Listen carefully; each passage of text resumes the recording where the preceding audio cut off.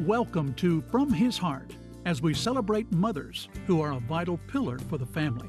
But there's more needed for a foundation. Join Pastor Jeff Schreve today as he shares the keys to a joyful family. In this message, How Firm is Your Foundation?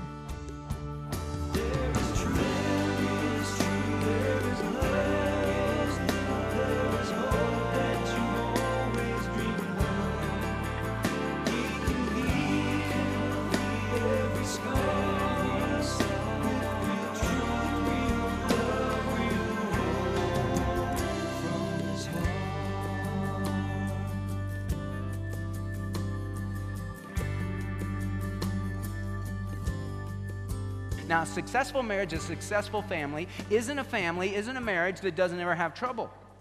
Because everybody has trouble. It's real life. How in real life can you build a marriage and a family that not only survives, but thrives? One that really experiences love and joy and peace.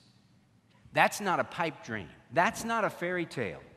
That's what God wants to infuse in every marriage and into every family.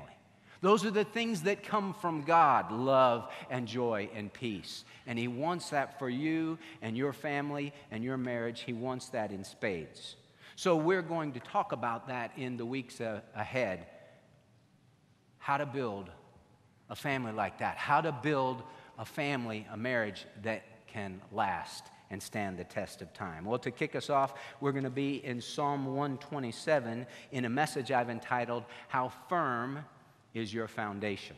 This is Psalm 127. It's a psalm attributed to Solomon. It's a song of ascents which means that the Jews, when they would make their pilgrimage to Jerusalem, they had to do that three times a year for the great feasts. And as they would ascend the hill of Jerusalem, Jerusalem is on a hill, they would sing these particular psalms. They were called Psalms of Ascent as they would ascend the hill of Jerusalem. And this is one that speaks about the family. It says, Unless the Lord, Yahweh, builds the house, they labor in vain who build it. Unless the Lord guards the city, the watchman keeps awake in vain. It is vain for you to rise up early, to retire late, to eat the bread of painful labors, for he gives to his beloved even in his sleep.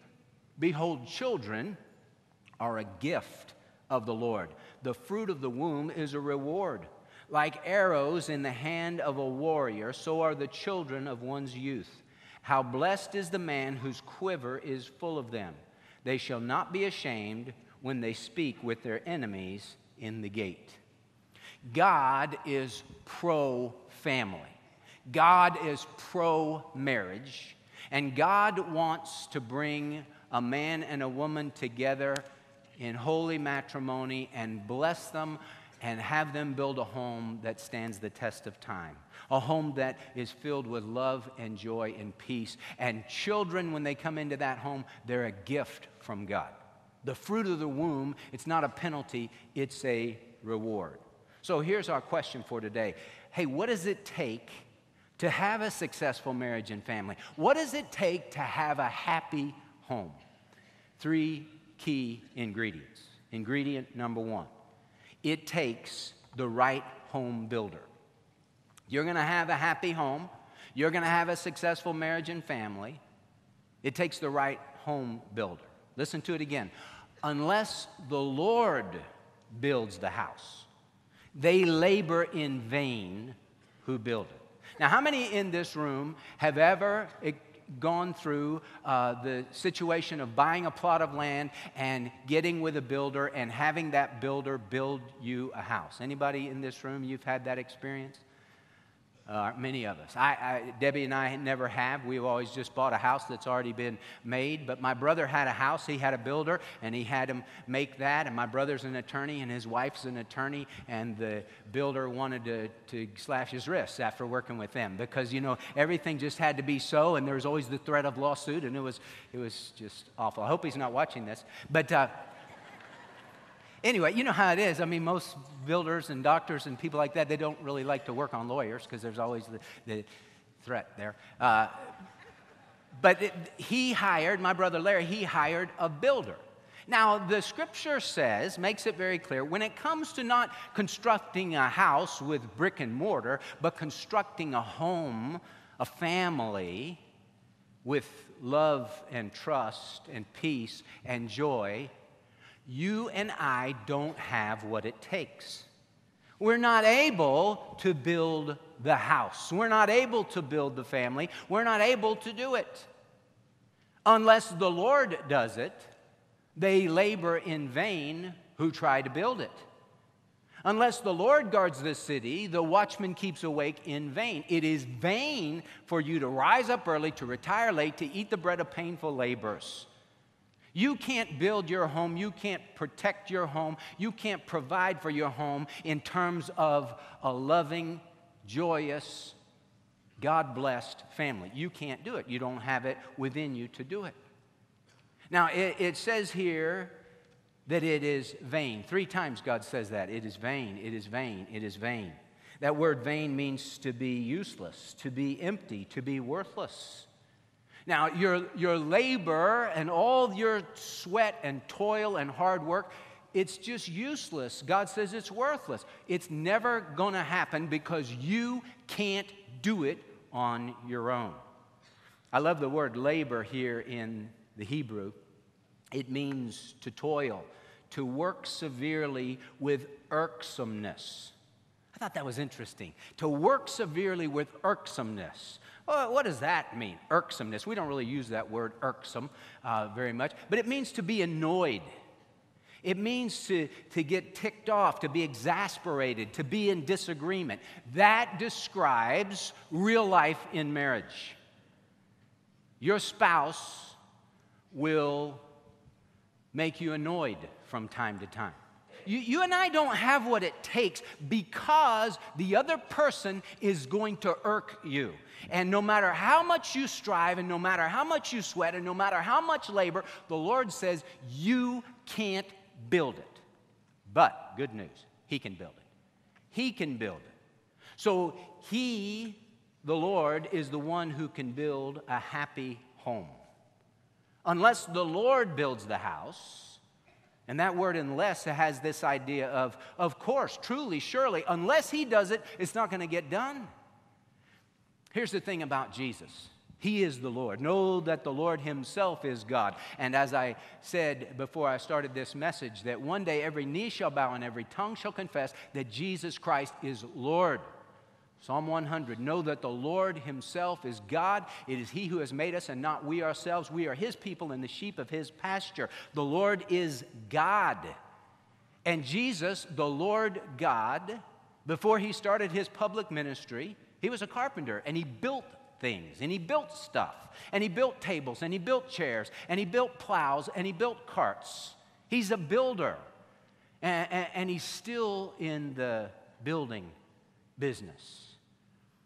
Song says Jesus is a carpenter from Nazareth from Galilee, and he's doing a construction job inside of me. Didn't leave his work when he went away because I can see him working in my life each day. And he is working in a Christian's life, and he's working in a couple's life. He wants to work in a couple's life to build their home. See, Jesus is building, as he told the disciples, he's building a heavenly home.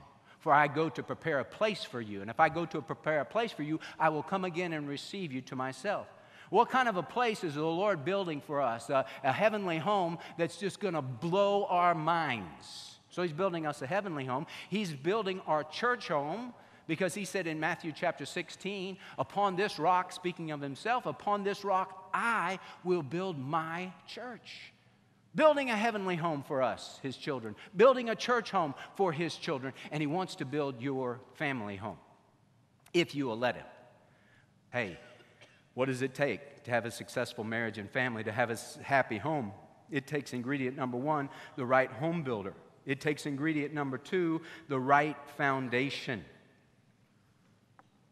You get the right builder, think in terms of a physical home. You get the right builder, and then you have a, a you find the right plot of land. And if you don't have the right plot of land, a, a wise builder will say, Well, I can't build there. That, that soil's not right. That, that foundation uh, where, where I would put the house, that's not any good. No, that won't work. We can't build that because that's on a slippery slope. That's on the side of a hill. That, that won't work there. You got to find a better plot of land because foundation is critical to any home. Everybody knows that. So, what is the right foundation in marriage? We get the right builder, that's the Lord Jesus Christ. But what's the right foundation where we go with the builder to find the right foundation? The right foundation in marriage and family is the Word of God. You and I must build on God's Word. Jesus made that so clear when he told the parable of the wise man and the foolish man. And he said this the wise man built his house upon the rock, and the foolish man built his house upon the sand. And the rains descended, and the floods came, and the winds blew, and it burst against the house built on the rock, and the house built on the rock stood because it was founded on the rock. But when the rains descended, and the floods came, and the winds blew, and burst against the house that was built on the poor foundation, that was built on the sand, it fell, and great was its fall. And then Jesus says this Therefore, Matthew 7 24. Everyone who hears these words of mine and acts upon them may be compared to a wise man who built his house upon the rock. Now, I want you to circle two words on your outline. Everyone who hears these words of mine, circle hears. And then he says, and acts upon them, circle acts. See, it's not enough just to hear the Lord's word.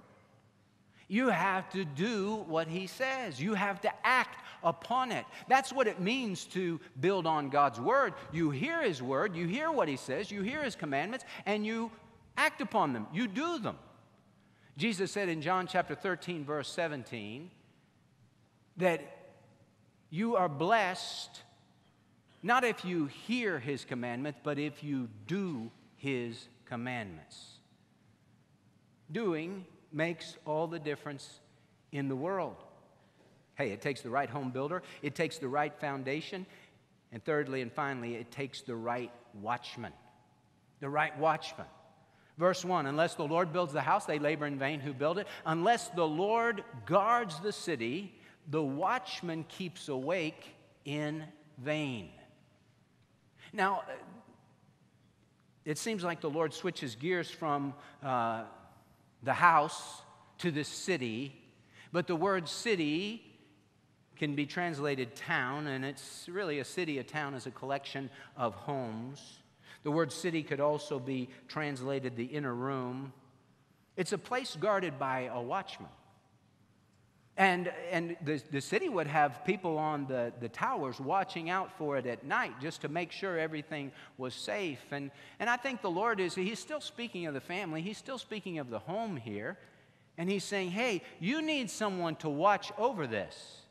And just as you're not able to build your home, you're not able to keep your home. Because the word guards means to protect, it means to keep. It means to build a hedge of protection around. And that's what the Lord does, and you and I aren't able to do that. See, we, we can't build our home, we can't provide for our home. It is vain for you to rise up early, to retire late, to eat the bread of painful lab- labors. That doesn't work. It's just vain, it's empty, it's meaningless, and you can't watch over your home. The, unless the Lord guards the city, the watchman keeps awake in vain. Now, why do I need God not only to build my home, my family, my marriage, but God to watch over my home, my family, my marriage. It's because of this. There is an adversary outside the home. His name is the devil, and 1 Peter chapter 5 says that the devil is prowls around like a roaring lion seeking whom he may devour. He's outside the gate. He's outside your property line. He's prowling around. He's walking around. When I was in Africa some years ago, we went on a safari for two days. We left the mission field and took a break and, and went on safari, and we were at the Mari Safari uh, Park. And it was uh, an awesome place. and you're just right out there, boom, in the, in the jungle with all the animals, and you have an electric fence around you. And it's a good thing because when we went out early uh, that morning to look at animals, right outside the gate of the electric fence, we saw two lions. Now, I wouldn't have slept very well in my tent had there not been a gate because I wouldn't have felt very protected. Well, the devil is like that lion. He's, he's prowling around, looking and ready to pounce on whom he may devour. He's looking for an opening. He's looking for a crack in the wall, so to speak. And the scripture says, You're not able to see him. Unless the Lord guards the city, the watchmen keep awake in vain. See, the devil is lurking and he wants to destroy your home. Jesus said of the devil, The thief comes only to steal and to kill and to destroy. That's the devil's plan to steal from you, to kill you, to destroy you and everyone you know. He is prowling around seeking someone to devour, and you're not able to stand up to him, but the Lord is. The Lord is. Greater is he who is in you than he who is in the world. So he's lurking, wants to destroy your home. Now, let me just give you very quickly some ways that the devil destroys your home because he's looking for cracks to get in through the wall, to get into your home, to bring ha- to wreak havoc and destroy your marriage and destroy your family. First one, first thing he uses to destroy your home drugs and alcohol. Drugs and alcohol will destroy a home. And everyone in this room who has experienced that in the home, whether it's mom, whether it's dad, whether it's the kids, getting into drugs and alcohol, you know that it, it, it's like experiencing hell on earth. It's awful. It's awful. I had a small taste of that when I was a kid growing up because I, I had that in my family, and it was awful the fighting that comes from that and the unrest. And, and man as a as a 10 year old boy it's just it's just a nerve-wracking oh man what's going on here type deal. You know what's sad is that so many people they don't think much of it especially with alcohol they don't think much of it. What do they do? At the wedding in so many weddings they have the toast and they lift up the glass of alcohol to say this is what our home, uh, let's just celebrate with alcohol. For so many, that's the thing that will destroy their marriage, that will destroy their family. My attitude toward drugs and alcohol is stay away from it. Stay away from it. You're never going to have a problem with that stuff destroying your home if you don't ever open the door there. So that's one of the ways that the devil works through drugs and alcohol. Second way he works to destroy sexual immorality. Boy, you, that, that's an open door if you have sexual immorality in your marriage. Pornography is a huge problem for men and now for women. And it's, it's just a, a, portal for the devil to come in and wreak all kinds of havoc and set up all kinds of strongholds in your mind. And you can't feed on that stuff for very long before you get very sick. It's like drinking out of the sewer. And so many couples are dealing with that. And listen, is there victory in that? Landon Huffer shared just a few weeks ago that he struggled with that, and God gave him victory and continues to give him victory as Landon continues to walk with the Lord and work that out with his wife. And I praise God for that. That was a strong testimony, and that speaks to so many people because so many people are struggling with that stuff. And you think it's no big deal, it's a huge deal, and it will wreck and ruin your life, it'll wreck and ruin your family. Oh, the devil works through that stuff through drugs and alcohol, through sexual immorality. How about this one? He uses unresolved conflict to destroy your home. That's when you have a fight and you never resolve it. You have an issue and you never work it out. You just sweep it under the rug. We live in a generation that that's just what they want to do. They just want to sweep it under the rug. They want to sin, whole, uh, sin retail and confess wholesale and just say, oh, yeah, I'm sorry, and just sweep it under the rug. They have this major fight, uh, husband and wife, and then uh, the husband's too proud to humble himself and apologize to his wife, so he just, uh, you know, they just don't talk for a day or two, and then they just go back like nothing ever happened. Eh, you can't do that. You got to deal with it. You got to you got to work through the issue. The scripture says this, Ephesians chapter 4, verse 26. Be angry and do not sin and do not let the sun go down on your anger, and do not give the devil an opportunity. If you let the sun go down on your anger, see, not all anger is wrong. You can be righteously angry, but when you do get angry, if you don't deal with that anger, and you let the sun go down on that anger, and you go to bed mad, and one day turns into two days, turns into three days, turns into three weeks, where you've never resolved that, that's just an open door for the devil. That's a toehold for the devil. And when the devil gets a toehold, he turns it into a foothold and he turns that into a, a stronghold. And he comes and sets up shop in your relationship and he creates such a, a, a bitter, tense, cold atmosphere in the home. And the kids pick up on it real fast. And what's up with mom and dad? They don't, they don't seem to like each other very much. Dinner time is just such a wonderful time where no one's talking you know, and it's just like, Ugh. Have you ever been in somebody's home like that where you could tell that the husband and wife didn't really like each other very much? It's not any fun. And the kids know that, and they're just like, this is tense. Can I go eat somewhere else?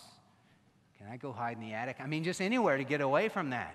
Oh, the devil works in that way. Hey, in, in marriage, you're going to have conflict. you got to work it out. And then lastly, how about this one? How about just plain old selfishness? Plain old selfishness. You know, the devil works through our selfishness. Now, you think about the word selfishness. You look at that word, selfishness. Look at the middle part of the word. The middle part of the word is fish. It stinks. Selfishness stinks like fish. And nobody is attracted to a selfish person. You ever, you ever see somebody that's just filled with selfishness and says, Oh, just so drawn to you. I just, I just love the fact that it's all about you. Eh, no, we're not drawn to selfish people. We're drawn to selfless people. Now, you know why I told you it's impossible unless the Lord builds the house, they labor in vain that build it. You know why, in and of yourself, you can never have a home filled with love and joy and peace? Because some of you may be arguing in your mind, well, I, I, have a home like that. I came from a home like that. We didn't trust the Lord, but we had a home like that. Let me tell you something. You don't have a home like that. It may appear like that, just like the Webb's house appeared to be a good house until something happened and the foundation fell apart. You cannot have a home filled with love and joy and peace apart from Jesus Christ because apart from Jesus Christ, all you have is self. Unless the Lord builds the house, they labor in vain that build it. Hey, it takes the right watchman, and you and I need to live sold out to Jesus Christ every single day.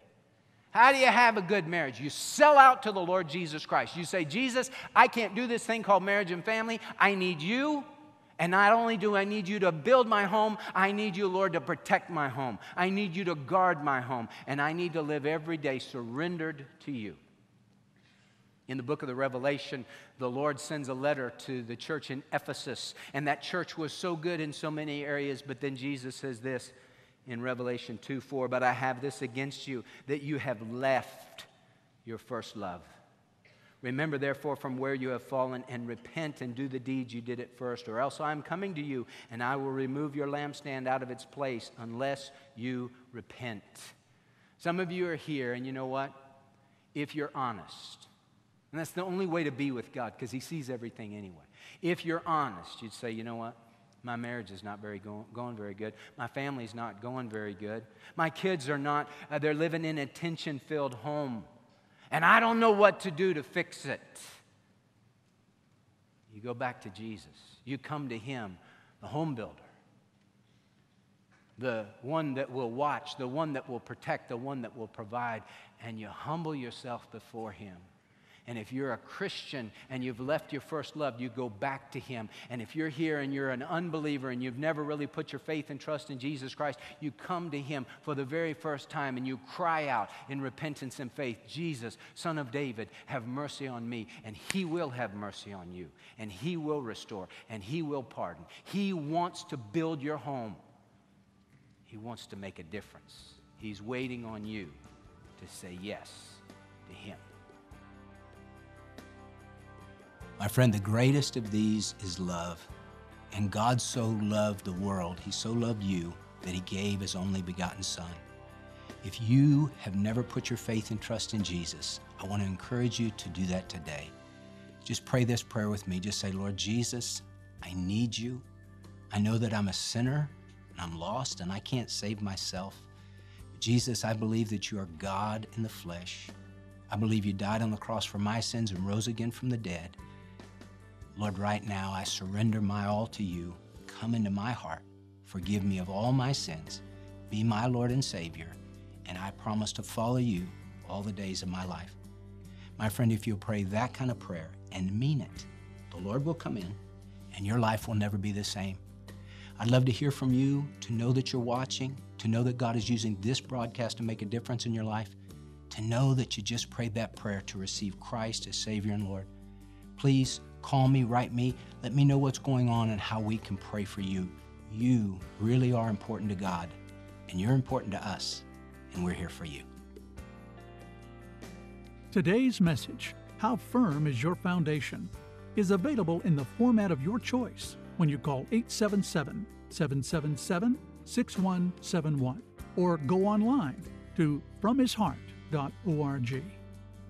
1 Corinthians chapter 13 is known as the love chapter and reminds us of love's importance in God's eyes. And these three remain faith, hope, and love. But the greatest of these is love. In Pastor Jeff Schreve's brand new and inspiring five message series, The Greatest of These is Love, he'll take a deep dive into the enduring meaning of love and the command for us to love God and love others first, because it's the greatest commandment. The greatest of these is love series is our special thank you gift for your support from his heart this month and available in the format of your choice. Call 877 777 6171 or go online to fromhisheart.org to make your gift and receive the new series, The Greatest of These is Love. Thank you for watching From His Heart today, the viewer supported broadcast ministry of Dr. Jeff Schreve, who believes that no matter how badly you may have messed up in life, God still loves you and has a wonderful plan for your life. Find out more. Go to fromhisheart.org. Real truth.